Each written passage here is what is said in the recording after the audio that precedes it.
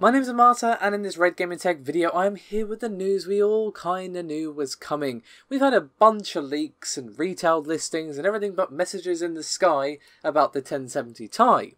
That was actually an accidental rhyme, but I'm, I'm to stick with it, damn it. However, the thing that has finally happened is a official announcement from Nvidia following the weeks of leaks and rumours surrounding the Ti. So, alongside this official announcement and confirmation that yes, the 1070 Ti is a thing that exists. Not that you really had any doubt after the amount of information we've seen regarding the card. We also have information on the specs, price, performance, and release date as well. So, the 1070 Ti is understandably beginning a lot of attention given that it's obviously neatly sandwiched between the 1070 and the 1080 and there's a lot of people saying well isn't this going to be basically nipping at the heels of the 1080 and the answer is basically yeah it kind of is. Now 1070 Ti does use a GP104 to power everything but it's a slight variation. And the Ti uses a new SKU by the name of GP104 300 and it has just a single SM disabled meaning it should be very close to the 1080 in terms of both specs and performance. And I know you're wondering, okay, that's all great, but what about the price? Now, the suggested retail price is actually going to be $449 US, obviously, or 419 pounds, or 469 euros. So that is the suggested price from Nvidia, and from what I understand, that is going to be the price of the Founders Edition as well.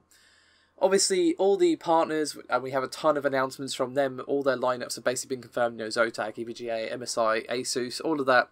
Got a ton of information to get through. Um, so we got all that, but we, of course, have the concern of the whole mining craze, which has still seen GPU prices fluctuating. So we might see that happen to the Ti as well. So it's it basically remains to be seen whether or not retailers will stick to the suggested price from Nvidia. But let's let's move swiftly on, shall we? As we have a fair bit to get through, as I just said. The 1070 Ti has 2,432 CUDA cores, which is a significant improvement over the 1920 of the 1070, and also uses 8 gigabytes of GDDR5 running at 8 gigabytes per second, or GBPS, sorry, for a total bandwidth of 256 gigabytes a second. Now, the Founders Edition will definitely seem familiar to those of you who have seen or used a 1080 as it has the same dual FET power supply and also has the DisplayPort, HDMI, and DVI connections. The base clock has been bumped to 1607 megahertz versus the 1506 of the 1070, and the basted sorry the the the the rated don't know where basted came from there excuse me. The rated boost clock remains the same at 1683 so a very minor boost clock available. However there were some reports as i'm sure you saw as we ourselves covered it on this very channel that Nvidia had removed the ability to overclock the 1070 Ti to basically stop it from completely overtaking the 1080 and obviously for a much cheaper price as well, but that does not seem to be the case. The 1080 does have an advantage in CUDA cores, and of course it has a faster GDDR5X memory, but I wouldn't really be all that surprised to see the 1070 Ti reaching comparable performance when overclocked. But to be honest, in you know, Nvidia are probably still going to get people buying the 1080 because again, it does have some advantages. But what they really wanted to do with the Ti, of course, is to take aim at Vega 56 because well, that particular card is a pretty damn nice competitor for the 1070 with better performance for roughly the same price. Now, whether or not the 1070 Ti will be in the same sort of tier, in terms of performance, obviously, you know, it's going to be better, but again the price concern due to the GPU mining thing, blah blah blah. Basically, we're gonna have to wait and see. But in terms of specs and the suggested pricing, it definitely has the chops to take on Vega. However, one thing that I will give NVIDIA praise for, other than making a really nice card, is that if you go to their website to take a look at the Ti, and it should be on screen right about now, is that you will notice that they are limiting you to two per customer if you're wanting to pre-order this particular graphics card.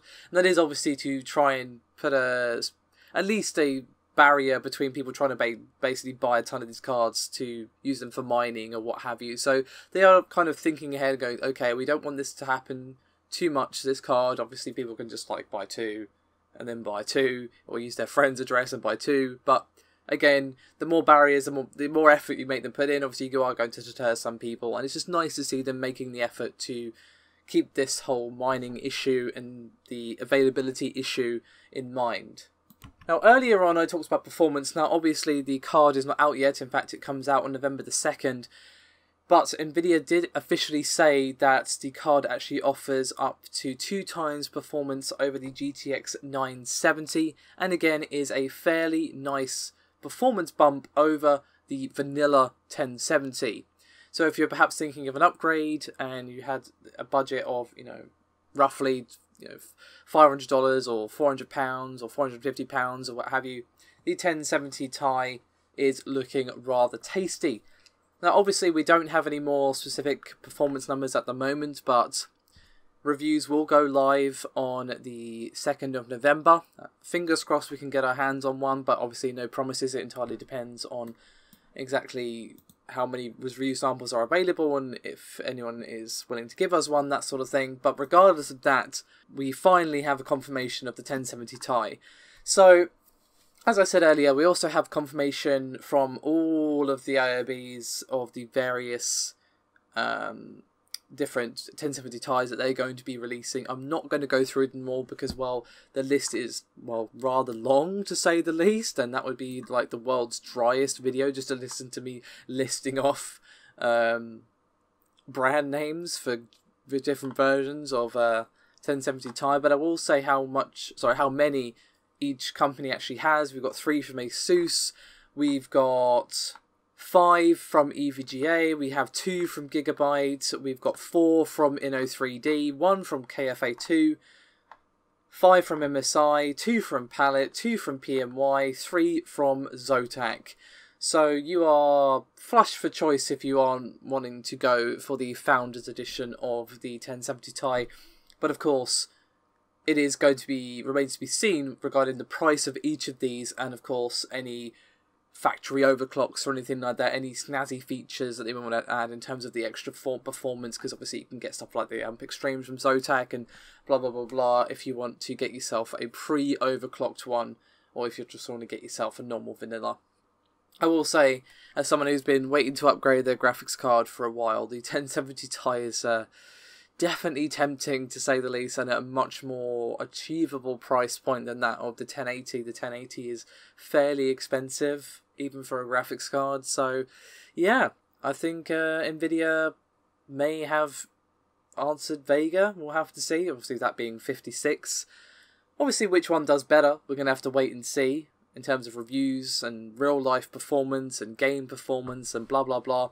That's going to be the real test, obviously because you know it's all good to say yeah it's got the it's got so many flops or whatever but obviously what actually matters is okay but how does it perform? Fortunately we're gonna have to wait and see. But that is me done for this particular video. Thank you very much for watching and i'll see you next time